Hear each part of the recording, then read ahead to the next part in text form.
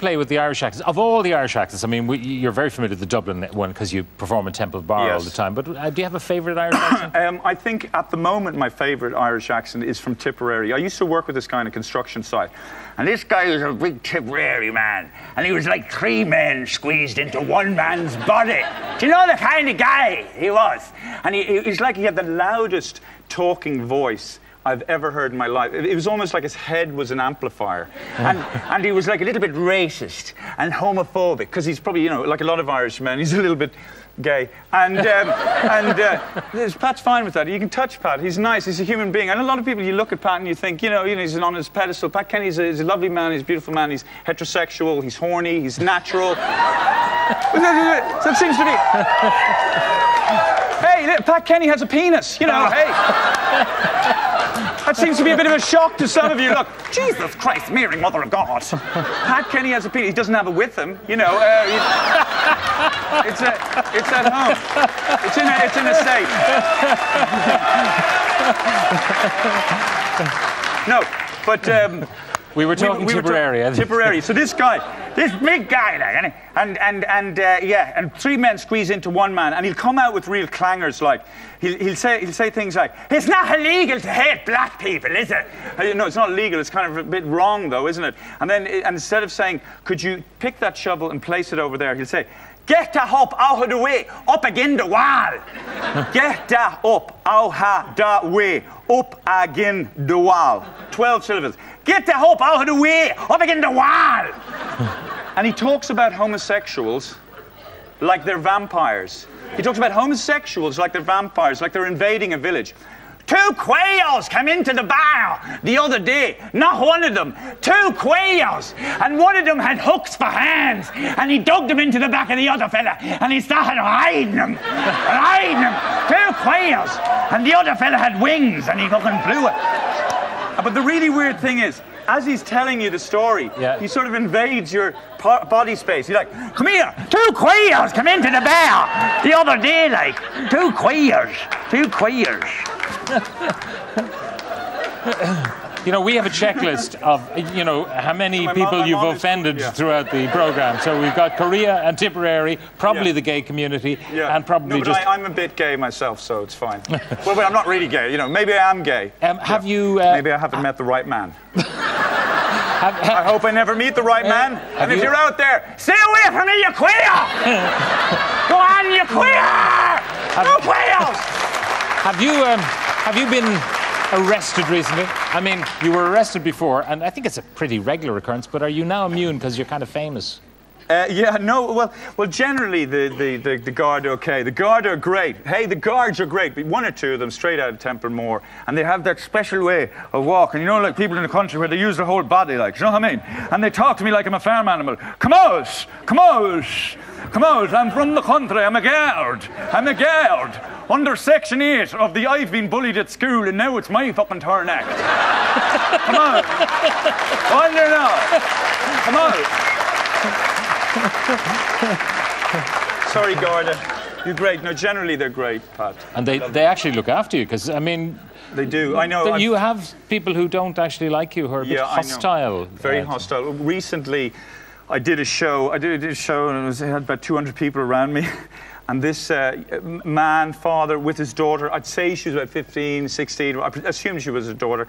I looked at him, and he smiled at me, and I felt implicit in his smile. He was giving me permission to make fun of him. So the audience were looking at me thinking, oh, I wonder what he's going to say. I wonder what he's going to say. And I looked at him, and I looked at the daughter, and I said, hey, I'm not judging you, sir. I just think she's too young. Right, and exactly I got that reaction. He went ballistic, he attacked me, and the daughter was crying. It was a disaster. It was an ill judged ill timed thing to say. Sometimes I didn't step over the line, I pole vaulted over the line. the next week, I'm doing a show on the exact same spot. And with this in mind, I'm trying to temper my show and so on. 200 people around me, a guy in a wheelchair comes through the show, and I think, all right, here we go. I'm, I just so I, I ignored him completely. And uh, he stopped in the middle of the show and he looked at me and he said, Why aren't you making fun of me? Do you think because I'm in a wheelchair, I don't have a sense of humor? you know, do you think because I can't walk, I can't laugh at myself? And of course, the audience were like, Yeah! Woo! Yeah! And I, I felt really humiliated. And um, I looked at him and I said, You're pretty funny, but you can never be a stand up comedian.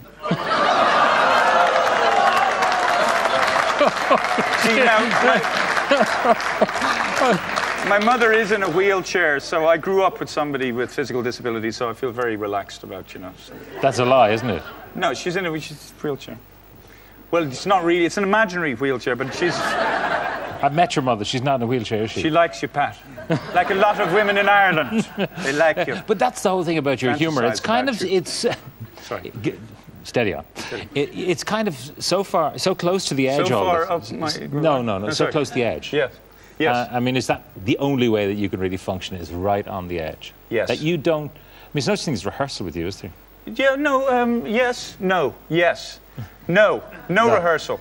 You have a DVD out. I do have a DVD. out. It has very- sketches and songs and all sorts of things. There's my DVD there. And you can David finally buy it in the shops. It's amazing. In a few years, that'll be worth at least a thousand lira. but I'd like to, I'd, if I you may, do a can I- song? I'd love to Because do the a guitar's song. there and it's not there for nothing.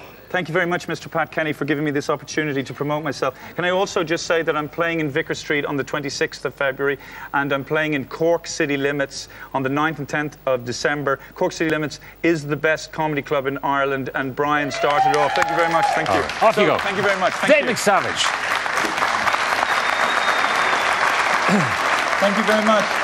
Ladies and gentlemen, um, this song uh, is a very beautiful song, uh, and it's especially written for people of Ireland. It's, uh, it's about the danger of drinking alcohol and having relationships with animals. Thank you very much. And people object, you know, to having sex with animals, but it's okay to kill them and eat them. That's fine. But sex, ooh, no problems, you know.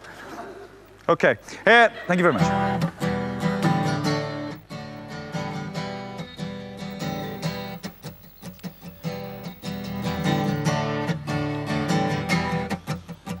I met a beautiful woman last night.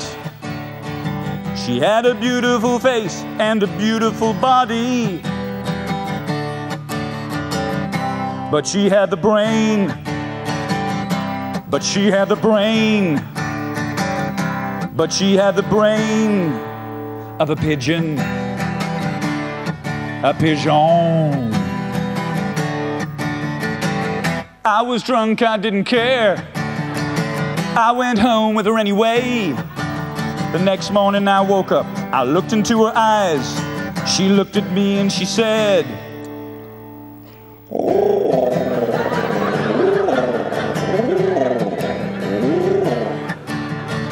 I made love to a pigeon last night. I was drunk, it was out of sight. With a little skinny legs and a penetrating eyes. A lice infected neck and the feathers. A lice infected neck and the feathers. I stayed with her for a week. I stayed with her for a week. She gave good beak.